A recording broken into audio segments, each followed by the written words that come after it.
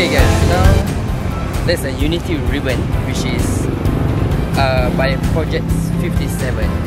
Okay, so this ribbon is regarding about this guy named Army. Okay, he's saying that saya ingin membantu komuniti orang asli saya melakukan perubahan sebagai rakyat Malaysia. Kita perlu saling hormat menghormati dan memelihara hubungan sesama insan agar kemajuan negara dapat dicapai. Okay, so this ribbon is regarding the help the community of Malaysian to bring up the community. So this thing, okay, the the ribbon itself is a pin. Okay, so there's there's a word saying on this page saying that